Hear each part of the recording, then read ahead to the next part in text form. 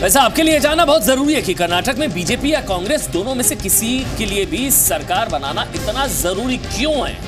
कर्नाटक में अपनी अपनी सरकार का गणित ज़रूरी है क्योंकि कांग्रेस के लिए कर्नाटक पंजाब के बाद कांग्रेस का दूसरा सबसे बड़ा गढ़ होगा। बीजेपी के लिहाज से मोदी राज में दक्षिण भारत में बीजेपी की पहली सरकार बनेगी। अमित शाह ने कहा भी था कि ये दक्षिण का दरवाज़ा होगा हमारे लिए।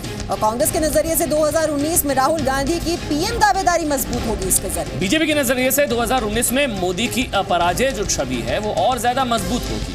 कांग्रेस के लिए एमपी राजस्थान छत्तीसगढ़ विधानसभा चुनाव जीतना आसान होगा। बीजेपी के लिए मध्य प्रदेश राजस्थान छत्तीसगढ़ विधानसभा चुनाव में जीत आसान होगी मतलब असर होगा कर्नाटक का।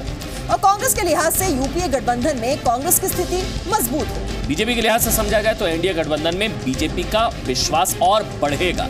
कांग्रेस की सरकार नहीं बनी तो यूपीए गठबंधन में कांग्रेस कमज़ोर होगी अगर बीजेपी की सरकार नहीं बनी तो एनडीए में शिवसेना जैसे दल के तेवर जो हैं वो और तीखे हो जाएँगे। और कर्नाटक को ही 2019 में लोकसभा के लिए सबसे बड़ी जीत का रास्ता माना जा रहा है। शायद इसीलिए जनादेश की राह में राहुल गांधी की उनतीसवीं हार को कांग्रेस जो है वो छिपाने की कोशिश कर रही है। मगर ये लोकतंत्र के लिए अच्छा संदेश नहीं है। क्योंकि लोकतंत्र में विश्वास रखने का दावा करने वाली कांग्रेस लगातार जनता के आदेश को जानबूझकर नजरअंदाज कर रही है और लोकतंत्र के बजाय राहुल गांधी को यहाँ पर बचाने की कोशिश की जा रही है Will you be the Prime Minister?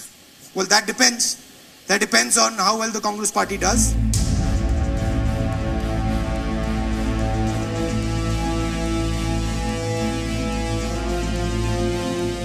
Rahul ने पीएम बनने का सपना देखा मगर कर्नाटक हार के बाद सीएम की जंग लड़ रहे हैं कर्नाटक की सियासत में जिस तरह लोग नए सीएम का नाम और चेहरा तलाश रहे हैं, उसी तरह सबकी निगाहें राहुल गांधी को तलाश रही हैं।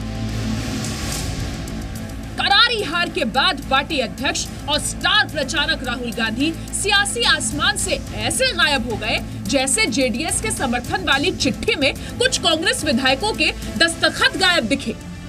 कर्नाटक की हार के बाद ऐसा लग रहा है कि राहुल कर्नाटक के सियासी नाटक वाले मंच के पर्दे के पीछे से दावपेच चल रहे हैं। हार पर न ट्वीट, न ही कोई बयान। लेकिन पूरी कांग्रेस पार्टी 2013 से लेकर अब तक उनकी उनतीसवीं चुनावी हार पर खुद भी पर्दा डालने की कोशिश कर रही है। और चाहती है कि हिंदुस्तान भी इस हार के जिम्मेदार को ना देख सके। सारे कांग्रेसियों की बाहें खिल गई। मैं उनको बताना चाहता हूँ कि आपकी सीटें 122 थी, इसे 77 करने का काम कर्नाटक की जनता ने किया है और आपका घोर पराजय हुआ है। बीजेपी विश्वास नहीं करती है लोकतंत्र पे। वो तोड़, जोड़, ताकत, पैसा, एजेंसी सब इस्तेमाल करती है पावर के लिए। और ये भारतीय लोकतंत्र के खिलाफ है। दरअसल ये कांग्रेस की हार नहीं, कर्नाटक में सिद्धरामैया सरकार की हार नहीं, बल्कि कांग्रेस अध्यक्ष राहुल गांधी की बहुत बड़ी हार है। क्योंकि इसी हार से ठीक पहले उन्हें 2019 में पीएम की कुर्सी साफ़ नज़र आ रही थी। इसलिए पंजे के निशान वाली पार्टी के अध्यक्ष पर सवालों वाली उंगली उठना लाजमी है। क्या कर्नाटक में जोड़तोड़ से राहुल का करियर बचाने की कोशिश हो रही है? क्या राहुल की हार को नजरअंदाज करने की कोशिश हो रही है? क्या 2019 में पीएम के लिए राहुल की दावेदारी बनाने की कोशिश हो रही है? कांग्रेस और राहुल गांधी दोनों जानते हैं कि कर्नाटक में हार या जीत का मतलब क्या है।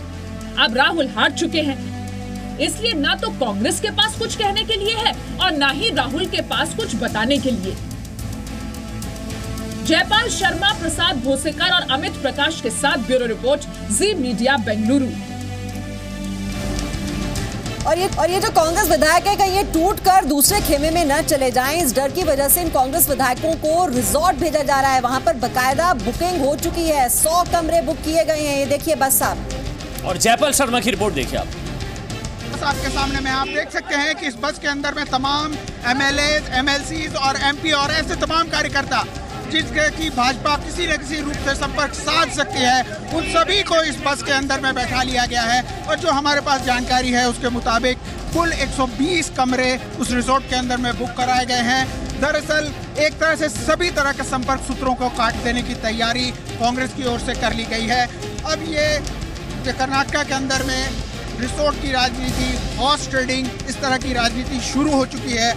आगे आने वाले तीन चार दिन काफ़ी महत्वपूर्ण होंगे। ये देखना होगा कि राज्यपाल किस दल को बुलाते, न्योता देते हैं और ये कहते हैं कि वो असेंबली के अंदर में फ्लोर टेस्ट पास करे। ये सब कुछ अब राजनीतिक ड्रामा यहाँ दो चार दिन और चलने वाला है। कैमरामैन प्रमोद के साथ जयपाल शर्मा, जी न्यूज़ बेंगलुरु। और आपको बता दें, जी न्यूज़ को खबर ये मिल रही है सूत्रों के हवाले से कि बीजेपी यानी कि येदियुरप्पा को सरकार बनाने का न्यौता दिया जा सकता है किसी भी वक्त जी और देश हित में हम कभी नहीं चाहेंगे कि हमारे देश की जो डेमोक्रेसी है उसके साथ कुछ भी बुरा। हम चाहेंगे कि हमारा महान लोकतंत्र हमेशा से इस देश का गौरव बना रहे। लेकिन शक क्यों होता है? ये आपको बताते हैं। सिर्फ़ एक मिसाल ही काफ़ी है देखिए। देखिए उन्नीस सौ छियानवे में 46 सांसदों के दम पर एच डी देवेगौड़ा इस देश के प्रधानमंत्री बन गए थे। और इतिहास का पहिया कैसे घूमकर लौटा और डेमोक्रेसी पर ग्रहण लगाने की कोशिश में उन्हीं देवेगौड़ा के बेटे एच डी कुमार स्वामी 22 साल बाद 37 विधायकों के दम पर मुख्यमंत्री बनने का सपना देख रहे हैं। सबसे छोटी पार्टी जो बनकर आई है, उसका मुख्यमंत्री, जरा सोचिए, कांग्रेस ये सरकार बनवा भी ले तो क्या अपना सम्मान बचा पाएगी?